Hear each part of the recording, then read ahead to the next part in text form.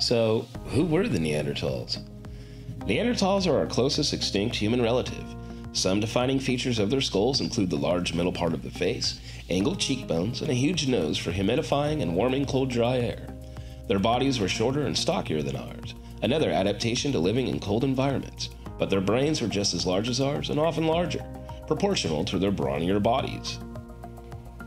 Neanderthals made and used a diverse set of sophisticated tools, controlled fire, lived in shelters, made and wore clothing, were skilled hunters of large animals, and also ate plant foods, and occasionally made symbolic or ornamental objects. There is evidence that Neanderthals deliberately buried their dead and occasionally even marked their graves with offerings, such as flowers. No other primates and no earlier human species had ever practiced this sophisticated and symbolic behavior.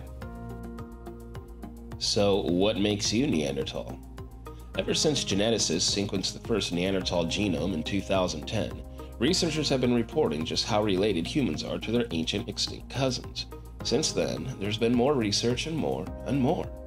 As it turns out, non African modern humans have Neanderthals to thank for 1 to 4% of their DNA.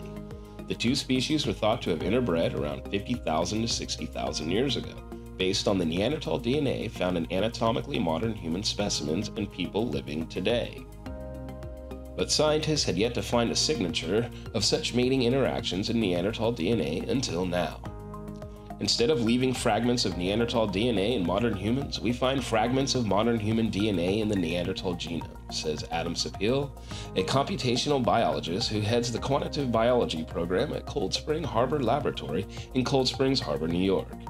Dr. Siepel, as part of an international team of geneticists, anthropologists, and computer scientists, found that a Neanderthal specimen from Siberia shared at least 1% of its DNA with modern humans, and that mating event happened some 100,000 years ago.